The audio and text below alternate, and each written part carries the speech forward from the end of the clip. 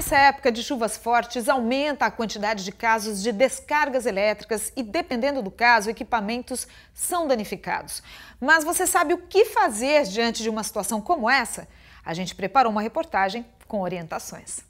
Computadores, geladeira e outros eletrônicos da casa do Luiz ficaram danificados depois de uma chuva forte. Ele teve um prejuízo estimado em 5 mil reais. Fora o choque elétrico que a gente tomou, né? Uhum. Que eu estava num computador no, no quarto, a minha mulher estava na cama no celular, meu filho na sala no outro PC e na hora que bateu o clarão, nós só sentiu o choque. Graças a Deus não aconteceu nada de grave com a gente, só a perda material mesmo. Casos como o do Luiz são comuns nessa época do ano. Afinal, as chuvas de verão normalmente são acompanhadas de raios. Apesar de se tratar de um fenômeno da natureza, a concessionária de energia tem responsabilidade quando algum equipamento eletrônico é danificado. O consumidor deve, primeiramente, procurar a própria concessionária de energia, a distribuidora, dentro de um prazo de 90 dias, porém é recomendável que ele procure o quanto antes que ele vai ter que informar a provável data que isso ocorreu, né, o horário e, e, outras informações sobre os aparelhos e, e registre essa, essa reclamação lá. O diretor do PROCON explica ainda que a concessionária de energia tem até 10 dias para fazer uma vistoria no equipamento.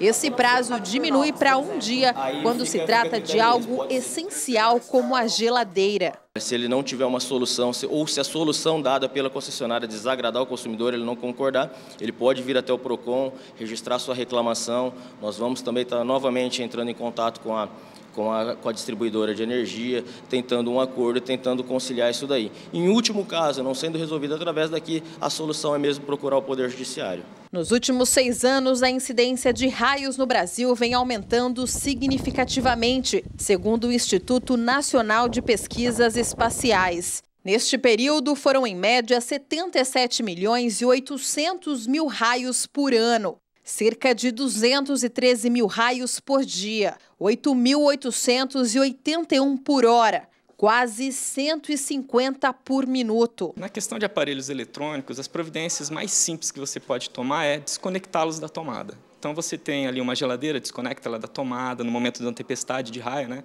Desconecta ela da tomada, desconecta um micro-ondas, televisor, máquina de lavar, tudo que você que possa sofrer danos elétricos por causa da tempestade ou por causa da descarga atmosférica, você desconecta da tomada. Quando se trata da televisão, os cuidados devem ser ainda maiores. Desconectar o cabo da antena ou da TV a cabo que está chegando no seu televisor também, porque ele também é o meio condutor.